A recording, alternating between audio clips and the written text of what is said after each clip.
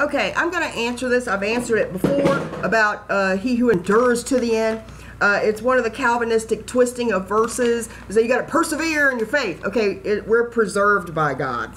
It's not our faithfulness that's keeping us. Even when we believe not, He abides faithful and can't deny Himself. Okay, it's always about Him. Always what He does, He keeps us saved, He gets us saved. Salvation is of the Lord. So, what does this mean here?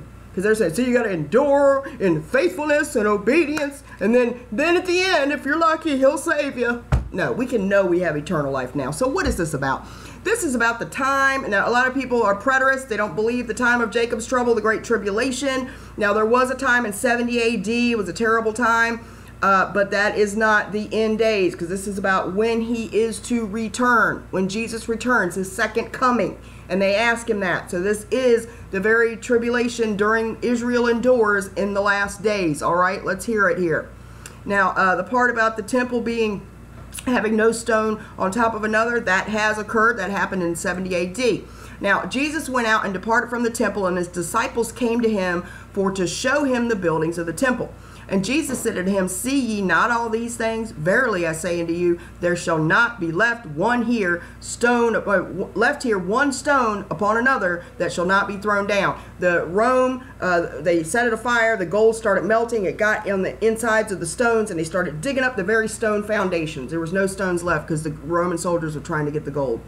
All right, and as he sat upon the Mount of Olives, the disciples came unto him privately, saying, Tell us, when shall these things be? Okay, there's that part about the, the temple. Then he says, and what shall be the sign of thy coming and the end of the world or the age? All right, this is about his coming now.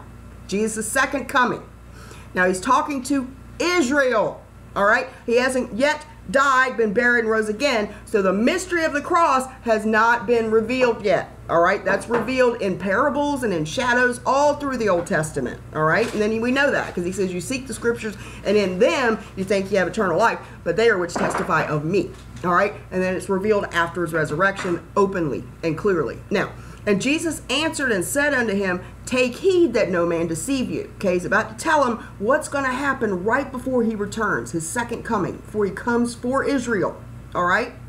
Remember, he does have a millennial kingdom. I don't care if you guys disagree. I believe the kingdom is within us and we can physically manifest that, that now.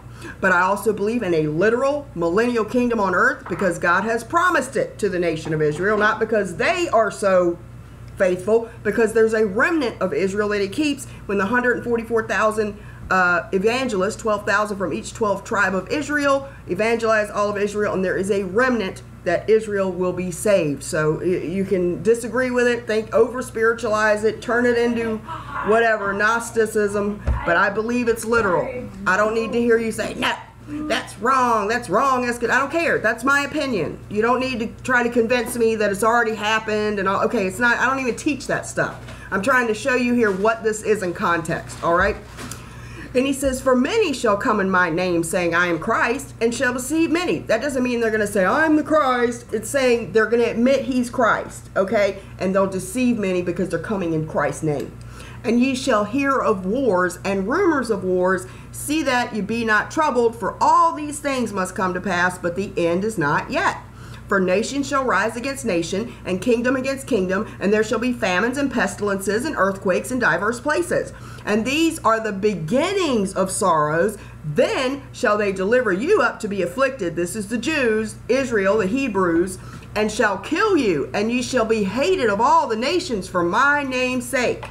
Okay, this is not the body of Christ, people. This is the Jewish and Hebrew people, the 12 tribes of Israel. And then, because it says he came first to the lost sheep of Israel, and he did. Hold on one second, Jim. I don't like it when you interrupt while I'm trying to do this, sweetheart. Hold on. Okay. Sorry, we had a flashlight crisis. All right. Uh, it says, And then shall many be offended, and shall betray one another, and shall hate one another, and many false prophets shall rise and deceive many. And because iniquity shall abound, the love of many shall wax cold. But he that shall endure to the end, the same shall be saved. Okay? If you are enduring, surviving, when he returns, you will be saved. Okay? It's talking about people being killed and all of this stuff happening to them. Okay? That's it. And the gospel of the kingdom shall be preached in all the world for a witness unto all nations. And then the end shall come. The gospel of the kingdom. Okay? Remember, he's going to rule a physical kingdom. It is a spiritual kingdom also because it's within us, but it's a kingdom. The kingdom is coming. Thy will be done, thy, uh, thy kingdom come, thy will be done on earth as it is in heaven. Now we can manifest that kingdom spiritually and you know physically within ourselves, but there is a literal kingdom. It makes you don't make you know spiritualized things that are clearly literal things. You just don't. Okay, uh, unless it has this is a vision, this is a metaphor, or this is a symbol. Okay, when it's clear and and and makes sense the way it is, don't change it. All right. I'm sorry if you don't agree. I, I don't want to hear all of this preterist stuff. I've researched all of it. All right. When ye therefore shall see the abomination of desolation spoken of by Daniel the prophet stand in the holy place, whoso readeth, let him understand. Now that did happen once with Antiochus Epiphanes. He brought in Zeus, which is Satan, in there and did a, a, a pig sacrifice. Okay? But this is not that time. He's talking about the second coming of Christ. So this hasn't happened yet. And he says, Let them which be in Judea flee into the mountains, and let him who's on the housetop not come down to take anything out of his house, neither let him which is in the field turn back to take his clothes. And woe to them that are with child and them that give suck in those days. So he's warning all the people of the perilous times, and they can die. But if you're enduring or surviving when he returns, you'll, you'll be saved because he's going to come. All right? He's saying these are the signs to look for. That's all. This is not about the body of Christ enduring in their faithfulness and obedience. I'm just sick of it. All right? We got to know who it's talking to and in what context. All right. God bless.